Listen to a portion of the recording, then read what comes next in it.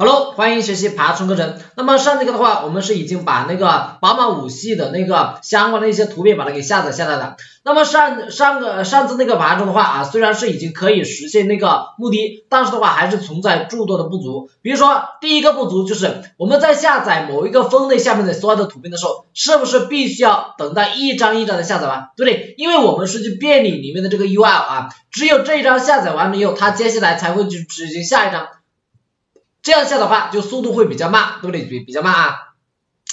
那么我们的这个 Scribe Scribe 框架哈，它就专门针对啊你去下载文件啊、下载图片这些东西，它给你提供了一个这样的 pipeline 啊，提供了一个这样的 pipeline 啊，就是一个这样的管道。那么你使用它给你提供的这个 pipeline 的话，你去下载图片这些东西，你就压根就不用管关心了。你需要做的事情就是去配置几个东西就 OK 了啊，只需要配置几个东西啊。那么啊，我们在我们的这个呃 Scribe 框架当中啊，你要去下载文下载图片下载文件，它给你提供了两个不同的那个 pipeline。那么如果你下载的是那个文件的话，它给你提供的是一个叫做 Files pipeline。那么 Files pipeline 就是文件的话，其实就包含很多文件的，对不对？比如说啊 PDF 文件啊，图片也是一个文件啊，视频也是一个文件啊，就说只要是文件，那么你就可以是通过这个 Files pipeline，对不对？这样的话，如果你下载的是那个 image，就是下载的是那张图片，那么它给你提供了一个叫做 image pipeline。那么这个 image pipeline 的话，它是继承自这个 file pipeline，但是它比这个 file pipeline 它的那个功能会更加多一点。比如说，它可以什么呢？它可以。它可以生成一个缩略图，就是你下载完之后，它可以生成缩略图，它还可以啊，就是说转换那个图片的那个格式啊，等，就是说比普普通的这个文件下载这个 Images Pipeline 它的功能会更加多一点啊。那么如果我们下载图片的话，我们就使用这个 Images Pipeline 就可以了，好吧？好，那么这地方的话还是要跟大家讲一下哈，就是呃之前我们那种方式已经够好了，为什么还要去使用这个 Scribe 框架来给我们提供这个方法呢？这个的话，我就列出了以下几点好处啊，就是我们如果使用这个 Scribe 框架给我们提供的这个下载文字的方法，有以下几点好处。第一点的话啊，我们可以避免重复下载最近已经下载过的这个数据啊，呃，或者下载的的文件嘛。这个功能啊，其实说白了就是去重，对吧？什么叫做去重？就是去除重复的。就是之前，比如说我第一次已经下载了 a a 点 png 这个图片，那么接下来有可能在这个网页当中又出现了这张图片，那么这里话我就不会再去下载了，对不对？那么这个工作如果由开发者我们自己去做的话，那么可能就要闲比较长的时间，对不对？而由这个 Scribe 框架它去做的话，它就非常轻松的就呃完成，因为这个 Scribe 框架里面它本身就有一个这个调度器，那个调度器就可以给它做一个这个驱虫的功能，对不对？好，第二个啊，第二个的话，你是可以方便的给它指定这个下载的存储路径啊。那么你在下载这个图片的时候啊，你只需要给它指定这个下载的路径啊，然后怎么去下载啊，该用多线程，该用异步还是什么方式，你都压根就不用管了，它给你用最优的方式去给你下载啊。好，第三个的话，如果你下载的是那个图片，它可以给你转换成那个通用的格式啊，比如说转换成那个 PNG 或者是那个 GPG 啊，就是比较通用的一个这样的格式啊。好了的话，还可以分给你方便的生成缩略图，比如说你下载了一张很大的图片，那么如果你想生成一个这样的缩略图，那么我们这个 Scribe 框架也是可以帮你实现啊。然后的话，第五点的话是可以方便的检测图片的宽高，确保它们满足最最小的限制。就是说你不满足这个需求的话，那么我就不去下载了。那然后的话，第六点的话就是啊一个重点，对吧？就是。它会去异步下载这个图片，效率非常高，比我们自己去讲效率非常高啊。这个的话，就是为什么我们选择 Scribe 框架内置的这个下载文字方法啊。好，接下来的话，我们再来讲一下这两个 pipeline 啊，这再讲一下这两个 pipeline。第一个的话是 Files pipeline，那么如果你要下载这个文件，你就需要使用这个 Files pipeline。使用这个 Files pipeline，这个地方你就根据我这地方啊写好的这几个步骤来走，有分为四个步骤，分为四个步骤啊。第一步的话，首先我们要定义好一个 item 啊，定义好个 item，在哪哪个 item 呢？就是我们这地方定义好的这个 item 啊。就是我们这地方定义好的这个 item 啊，这个的话毫无疑问啊，是你之前也是一定的，对吧？好，但是哈，定义完这个 item 也不还 item 以后还不够，你还得在这个 item 当中定义两个属性，这两个属性分别叫做什么名字呢？分别叫做 file URLs 以及 files。那么这两个属性分别是用来干嘛的呢？这个地方我们来跟大家解释一下啊。file URLs 其实这个东西它就是装载所有需要下载的那个文件的那个 URL 啊。那么这个 file URLs 这个属性的话，它是一个列表的一个这样的类型。那么在这个列表当中存的是需要下载的那个图那个文件的 URL 链接啊。那么你把所有需要下载的那个图片的呃文件的链接放到这个里面，我们这个 script 框架，也就这个 file pipelines，它在呃它在底层的话，它就会去从这个 file us 里面去读取所有的那个 URL，然后的话就发送那个请求进行下载，明白是吧啊？然后的话，接下来第二个 files 这个属性的话，它是呃一般我们可能用的比较少哈，这个属性它是用来去存储。啊，下载完的那个文件的它相关的一些信息，比如说下载的这个路径、下载的 URL 以及文件的效应等啊，这个的话一般用的不是比不是比较多啊，那么我们把它给定义这个属性放在这个地方就可以了啊。好，那么这是这里这这这是这一步哈，这步要要这是这两步哈，要把它给做好。接下来第三步的话，就是我们应该要在这个 settings 点 py 这个文件当中来给它配置这个文件存储的这个路径啊。那么如果你使用的是这个 files pipelines 这地方啊，它的啊存储的这个路径啊，存储的这个不是路径哈，就这个属性的名字叫做 files store 啊 files store。那么以后的话，它就会把这个文件下载到这个 files store 这个这个目录当中啊，这个目录当中，好吧？好的，那么第五步的话，就是要去启动这个 pipeline。对不对？这里大家一定不要忘记了哈，你不管是你写的还是调用系统这个 pipeline，那么如果你想使用它的这个 pipeline 的话，你就必须要在这个 settings，在这个 item pipelines 当中来设置这个东西，好吧？来设置这个东西啊。好，那么这个的话就是呃，所有我们使用这个 pipeline files pipeline 需要做的工作啊，所需要做的工作啊，非常简单。那么这个里面的话，是不是根本就没有涉及到我们该用如何何种方式去下载？这些东西它底层都帮我们做好了，好吧？好，那么第二个哈就是下载图片的，那么下载图片的这个 pipeline 就是这个 image pipeline 的话，其实跟这个 files pipeline 的话是非常类似的啊。那么我们手机的话也是需要定一个 item，然后的话在这个 item 当中，我们也是需要定两个属性。只不过这两这两个属性啊，这两个属性它们的目的、它们的作用都是一模一样的，只不过是名字不一样而已啊。那么如果你是 files pipeline 这个地方的话叫做 files file us，那么如果你是 images images pipeline 这个地方的话叫做 image us，这个里面的话装的就是什么呢？装的就是需要下载的那个图片的那个链接啊。这个 images 就是装载的是那个图片下载的路径啊，图片的下载的 URL，图片效应等相关的一些这样的信息，好吧？啊，然后第三第三个的话就是。也是需要配置这个图片下载的那个路径啊，叫做在 settings 文呃目录里，在 settings 点 py 这个文件当中啊，叫做 images store 啊，images 下划线 store 啊，那么以后的这个文件的话，这个图片哈，它就会下载到这个 images store 这个啊目录当中，好吧？好，第六第四步的话也是需要启动这个啊 pipeline 啊，然后的话在我们的这个 item pipelines 当中来添加这个东西，好吧？这样的话就可以使用了啊，这样的话就可以使用了啊。好，那么接下来的话，我们再来到这个代码当中，实际的跟大家去演示这个东西该怎么去使用啊。好，那么我们首先第一步啊，要把这个 i 把这个 item 来改一下，对吧？哎，之前的话我们是给它叫做这个 urls，对吧？其实这个 urls 里面是不是存储的就是需要下载的那个图片的 url 啊？对，所以的话我们这个地方是不是其实这个 us 就相当于是这个里面的这个 image U I S，对不对？所以的话，我们这个地方是不是只要给它改一个名字就可以了，对不对？好，那么这个地方呢，改成什么呢？叫做 image uis 啊。好，改完这个东西以后，接下来我们再来添加另外一个属性，就这个 images 啊。好，那么改完这个东西以后，接下来我们还得去回到哪里呢？还得去回到我们的爬虫当中，把之前那个 us 改成这个 image us，对不对？我们在爬虫当中，我们怎么去存储这个 ui 的？是不是存储到这个 us 当中啊？那么现在这个 us 是已经不存在了，它已经是改成什么呢？已经是改成这个 image urs 的，对不对？好，那么这样的话，我们把它给改完。好，改完以后，接下来啊，接下来的话，我们我们要做的就是什么呢？就是去呃设置这个 settings 里面的一些配置，对不对？好，第一个的话就是去开启什么呢？开启那个图片的那个 pipeline，对不对？好，那么接下来的话，我们就把自己的这个 pipeline 把它给注释下啊，把它给注释下，然后的话再把这个图片的那个 pipeline 把它给拿过来啊。那么这个图片的 pipeline 是这个地方啊，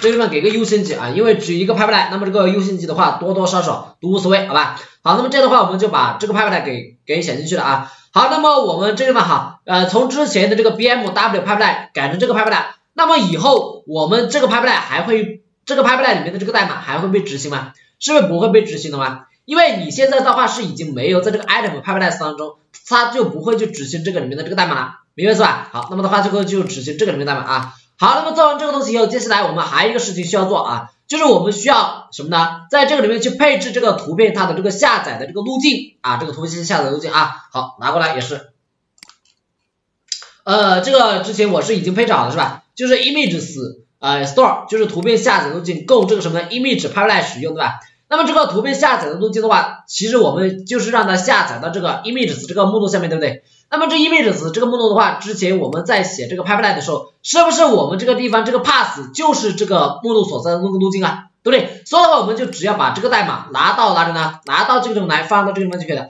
然后的话，再来导入这个 OS 模块，再导入这个 OS 模块就可以了，明白是吧？好，那么这样的话，我们所有啊下载图片哈，所有相所有的工作我们就已经做完了啊，就已经做完了哈。接下来我们再来运行一下我们这个爬虫，这时的话它就会自动的采用异步的方式把所有的图片全部都下载到我们的这个 image 这个文件夹下面，好吧？好，来保存一下，来运行一下我们这个爬虫啊。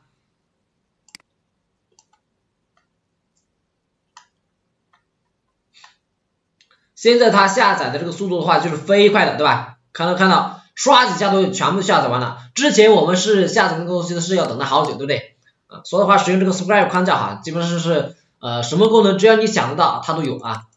好，这个里面的话放在一个叫做 Full 的这个文件夹下面，对不对？啊，那么所有的图片啊，所有的图就是所有的那个图片，它都全部都把它给把你给下载下来了啊，全部把它给下载下来了，好吧？那么现在的话哈，是虽然这个图片下载下来了，但是啊有个问题，什么问题呢？之前我们采用那种传统的方式去下载那个图片的话，我们可以根据这个图片它是属于哪个分组来给它进行分类，对不对？啊，比如说这个图片它是属于那个车身，那么的话我是应该要把它给放到车身的这个子文件夹下面，对不对？那么这个地方的话，我们是不是没有办法在这个里面再给它指定具体的子目录啊？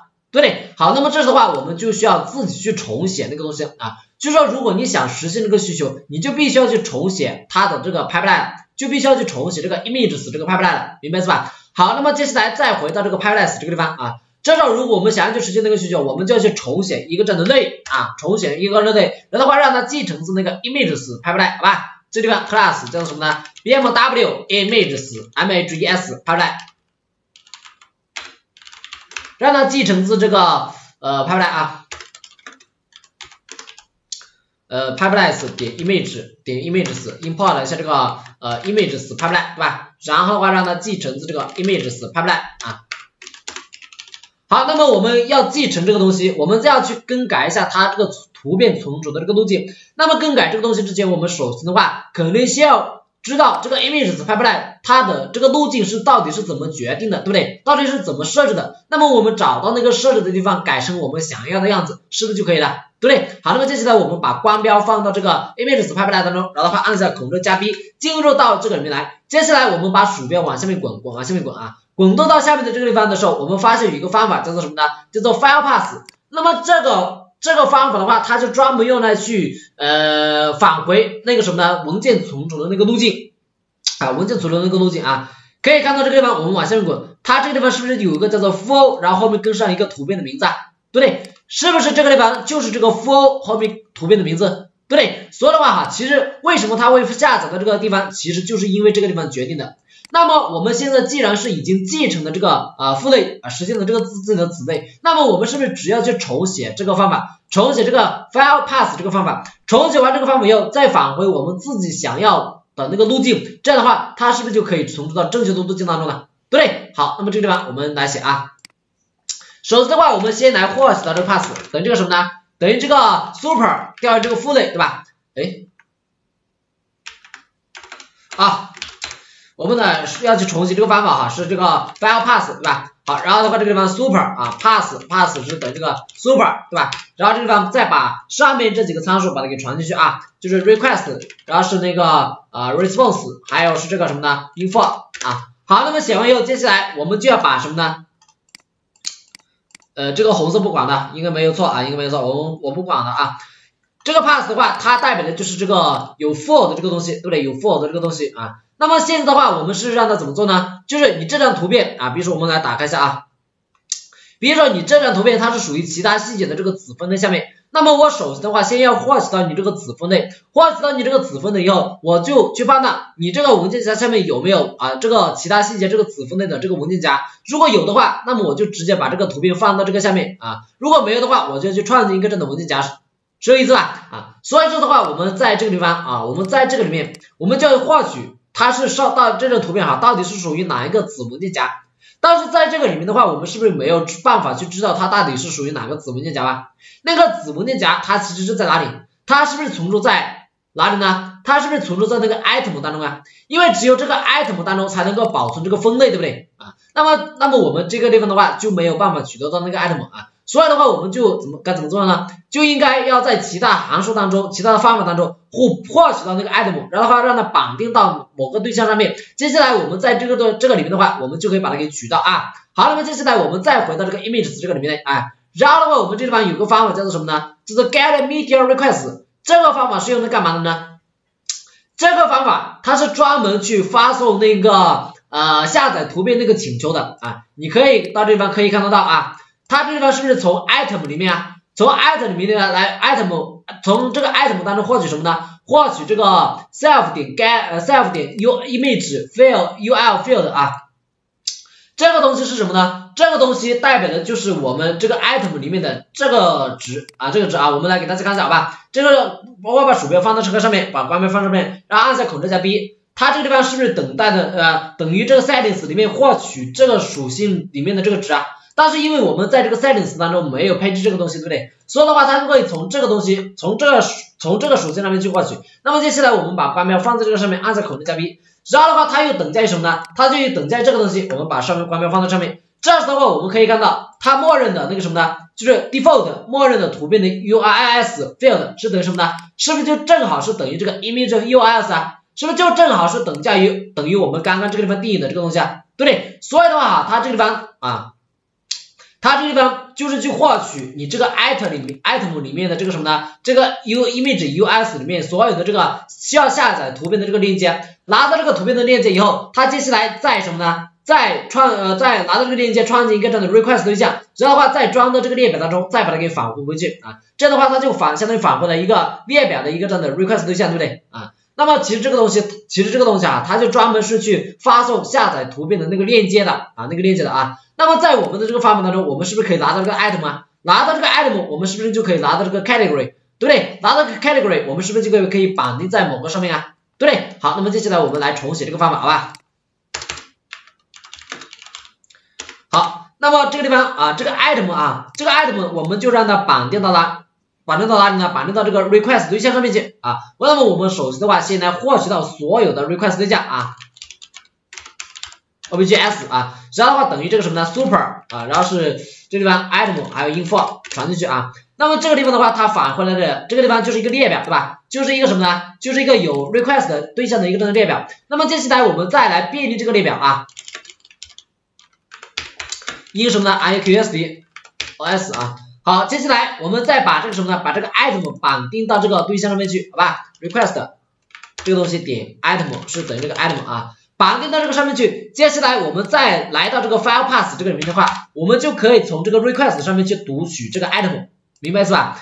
呃，这个这个东西的话是在这个请求之前调用啊，这个是在这个方法是在请求之前调用，而这个 file path 的话，它是在请求之后调用，就是这个就是什么呢？就是这个呃图片。将要被存储的时候，它就会去通过这个方法去获取这个图片它的那个存储的路径，好吧？这个方法是在啊图片将要被存储的时候啊被啊将要被存储的时候调用啊来获取这个图片存储的的路径，对吧？啊这个方法是用来干嘛呢？这个方法是在发送。呃，下载请求之前调用啊，呃，其实啊本这个方法这个方法啊本身就是去发送请求的，对吧？本身就是发送那个下载请求的啊。好，然后的话我们这地方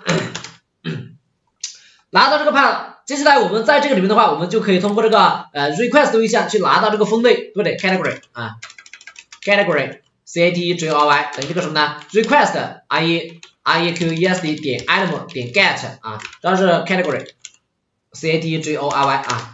好，这样的话就可以拿到这个 category。那么拿到这个 category 以后，接下来我们再把这个 category 放到哪里呢？放到这个呃 image 里面去判断有没有这个文件夹，对不对？比如说它现在这个 category 是等这个其他细节，那么的话我就到这个里面去判断这个 image 文件夹下面有没有这个其他细节这个子文件夹，如果没有的话，我就给它创建，对不对？好，那么这个 image 这个文件这个目录它的那个路径在哪里呢？是不是我们可以在这个 settings 里面来获取到啊？对不对？那么接下来我们来导入这个 settings，好吧？在哪里呢？在呃在这里啊，from 这个什么呢？bmw import 这个 settings 啊，然后的话这个地方是那个呃 images store s d o s d o r e 等这个等于这个 settings s s e t t i n g s 点那个什么呢？呃 images store 对吧？好，拿到这个 images store 以后，接下来我们就要去判断一下这个里面有没有这个目录了啊，有没有这个目录啊？好，那么我们的话，呃，有没有这个目录？我们首先的话，先要去呃将这个和它们拼接在一起，对不对？那么就是 categories pass 啊，等于这个什么呢？os 点 pass 点 join 对吧？然后是那个 images story，然后是这个 category，把它给拼接在一起。那么接下来就判断 if 什么呢？os 点 pass 点 exists 啊，e x i s d s，然后是这个呃 category pass。如果没有啊，if not，如果没有这个东西，那么接下来我们就要去创建啊，就是 os 点 make dir，然后是这个呃 category pass 啊，去创建对吧？如果没有的话就去创建啊。好，那么接下来的话，我们呃这样创建完了以后，接下来我们是不是应该要把这张图片放到这个呃放到这个里面去啊？对不对？拼接到这个里面去。那么接下来的话，我们是不是要去获取到这张图片的名字？啊？那么这个图片的名字在哪里获取呢？其实可以从这个 pass 上面去获取。我们来看这个地方来看一下哈。这时的话，这个 pass 它其实就已经包含了这个图片的名字，对不对？它这个地方后面它使用的是这个 image GUID，image GUID 它采用的是什么呢？使用当前的这个 U R 产生的一个这样的哈希值，产生的一个这样的哈希值啊。所以的话，我们这个东西只要获取到后面这部分，前面这个 for 这个东西把它给删掉，这样的话是不是就可以拿到这个图片的名字，啊？对不对？好，那么我们这地方就来获取，再来写啊。Image name 是图片的名字，等于这个什么呢？pass 点 replace 啊，将这个什么呢？呃，for 斜杠把它给替换成一个空的，对，这样的话就可以拿到这个图片的名字。拿到这个图片的名字以后，我们再把它给拼接到这个 category pass 后面，对不对？好，那么就是得到那个什么呢？得到那个 image pass 啊，图片的名字啊，图片的路径等于这个 os 点 pass 点 join，然后是 category pass 啊，然后是这个呃 image name 啊。好，那么这样拿到这个 image pass 以后，接下来我们再把这个 image pass 把它给返回回去啊，这样的话它就得到的是一个呃真正的那个呃封面的那个路径，好吧？那么就是 return 这个 image pass 啊，好，保存下。好，那么这样的话，我们的这个 pipeline 就相当于是已经写完了，好吧？写完了以后，接下来我们这个地方的话就要去更改一下这个 pipeline，对不对？哎，不是啊，在这个 settings 啊。这时的话，我们就不再去使用这个啊系统自带的这个呃 script 框架自带的这个 images 呃派派而是使用我们自己写的，对吧？好，那么我们这边来写啊，它是 bmw p i p e l i n e s 下面的那个什么呢？呃，来拷贝一下这个名字啊，这个名字有点长啊，可能加 c，然后的话来到这个地方可能加 v 啊。然后的话，它的优先级我们给个一就可以了，好吧？好，那么这样给完以后，我们的这个啊爬虫啊，就相当于是已经呃可以 OK 的哈。它这个呃这些文这些图片哈，它就会下载在这个 images 这个呃目录下面，好吧？这地方我们右键来删除一下啊，来删除一下啊。好，来保存一下，再来执行一下啊。啊，一下子就下完了是吧？嗯，好像没有下载是吗？没有下载啊，我看一下啊，啊，我知道问题是在哪里了啊。现在我们重写的这个方法，我们是不是没有把这个 request 这个列表把它给返回回去？没有返回回去，它怎么去下载？对不对？所以的话，我们这地方千万记得一定要返回这个 request 这个对象啊。保存下，再来走一下。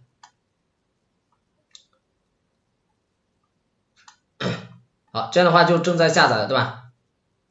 我说刚刚怎么会有这么快啊？虽然有很快，但是也不至于一秒钟刷一下就有了，对吧？但是现在也不慢，对吧？也下载的很快啊。好，然后的话这里面，哎，它就分好多类，对吧？车身外观啊，然后有那个车厢座椅，啊，然后还有这个什么呢？改装的啊，还有是其他细节啊，什么东西，对吧？好，那么这样的话，我们的这个呃，使用这个 images pipeline 下载图片这个东西啊，我们就讲到这个地方，好吧？大家感兴趣的话，可以多去研究一下。这个 Scribe 给我们提供的一些这样的类，好吧？可以去看一下里面的这些源代码啊。走啊，有些时候我们在写代写写我们自己一些业务的代码的时候啊，不可能这个 Scribe 框架是给我们提供百分之百的功能，我们都可能啊，我们可能的话都需要在它的基础上进行改吧改吧啊。所以的话，大家对这个里面啊就要去做一些这样的了解，好吧？好，那么这样的话，我们的使用这个 Image Pipeline 这下载图片我们就讲到这边吧啊，感谢大家。